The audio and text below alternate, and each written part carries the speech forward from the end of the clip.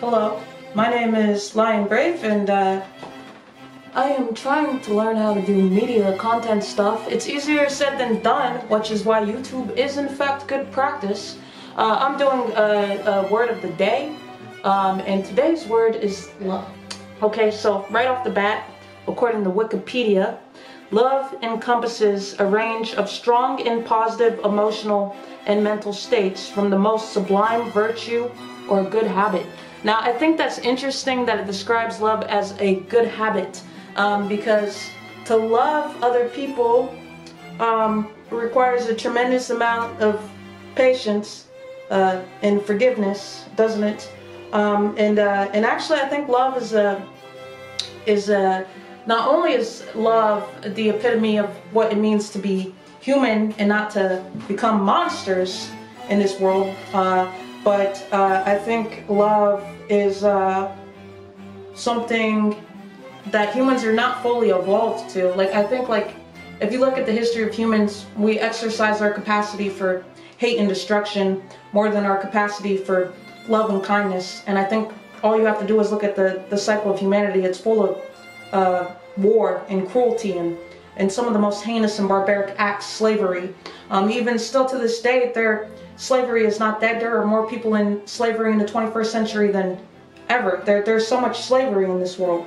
Um, and like, so if uh, love is considered a habit, um, it's, it's a habit that I think we need more of. And, uh, and, uh, and, and love is, is, is a virtue, isn't it now? Love is a virtue. So it says love is considered to be a positive and negative with its first virtue representing human kindness, compassion, and affection as the unselfish, loyal, and benevolent concern for the good of another, and its vice representing human moral flaw akin to vanity, selfishness, amour propre, and egotism, as it is potentially leads people into a type of mania, obsessiveness, or codependency. So this, this now what it's talking about, like this Wikipedia article, I don't believe this is love. Like, like uh, codependency, obsessiveness, to me that's infatuation. So if we're talking about the word infatuation, like to me love has to be healthy and love has to be balanced and love has to be divine and love has to be spiritual. So I don't, I, I actually don't think there is a negative to the word love.